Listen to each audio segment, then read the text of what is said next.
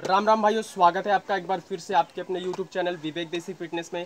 तो उम्मीद करता हूँ कि आप सब अच्छे होंगे। हर बार की तरह इस बार भी लाया हूँ आपके लिए कुछ नए पुशअप्स जैसे कि लेग क्लैप पुशअप्स उस पुशअप्स को आप लगाकर अपने बॉडी को अच्छी प्रकार से ट्रेंड कर सकते हैं। कुछ भाई लोग बोलते हैं कि ये बहुत ही ज़्यादा हार्ड होता है, लेकिन ये बिल्कुल हार्ड नहीं है। मात्र दो ट्रिकों की सहायता से आज आपको लेग क्लैप पुशअप मैं सिखा दूँ। चलते अपने ब्लॉग में आगे की तरफ़ और देखते हैं कि लेग क्लैप पुशअप्स किस प्रकार से लगाया जाता है। लेग क्लैप पुशअप लगाने से पहले एक ज़रूरी बात लेग क्लैप पुशअप लगाने से पहले हमेशा वार्म अप या स्ट्रेचिंग कर लेनी चाहिए, क्योंकि अगर आप वार्म अप या स्ट्रेचिंग नहीं करेंगे तो आपके बॉडी में इंजरीज होने का खतरा बना रहता है। तो आइए चलते हैं और देखते हैं किस प्रकार से हम लेग क्लैप पुशअप्स को लगाते हैं। लेग क्लैप पुशअप्स लगाने से पहले आप लोगों को नॉर्मल पुशअप्स आना चाहिए। तो नॉर्मल पुशअप्स को कुछ इस प्रकार से सब लोग लगाते हैं।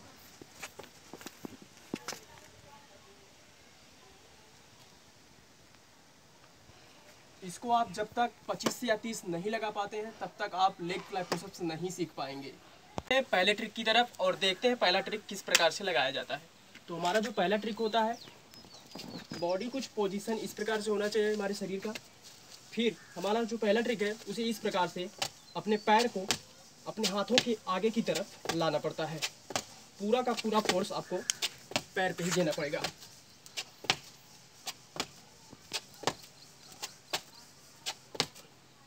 तो जो पहला ट्रिक था, कुछ इस प्रकार से है। ये चलते हैं अपने दूसरे ट्रिक की तरफ़ और देखते हैं हमारा दूसरा ट्रिक क्या है।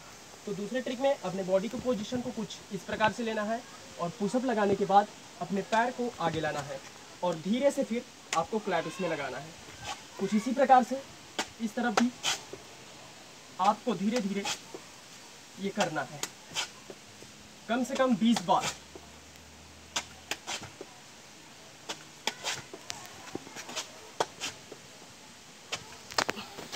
तो आइए चलते हैं और अपने दोनों ट्रिकों को मिक्स करने के बाद हम लगाते हैं leg clap pushup one two three four five six seven eight nine ten दोनों ट्रिकों की प्रैक्टिस अगर आप दो दिन तक अच्छे से कर लेते हैं तो आप लेग क्लैप पुशअप कहीं भी, कभी भी लगा सकते हैं और हीरो बन सकते हैं। अगर वीडियो अच्छा लगा हो तो लाइक कीजिए चैनल को सब्सक्राइब कीजिए, हो सके तो शेयर भी कीजिए। मिलते हैं अपने अगले ब्लॉग में। इसी जोश के साथ, जय हिंद, वंदे मातरम। चलो